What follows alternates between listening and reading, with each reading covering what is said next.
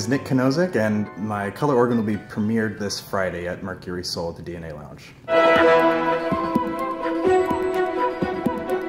So the idea is that, I mean, there's lots of different ways that I could have designed this, but I've geared it towards the Disklavier, which is a player piano, uh, basically. So I have a, a Yamaha grand piano um, that I've connected to um, lights that basically send MIDI out um, based off of the number that's received. So I basically tuned every single note to a particular hue. And so 88 keys tuned to a very specific hue all the way through, just like you might tune a piano.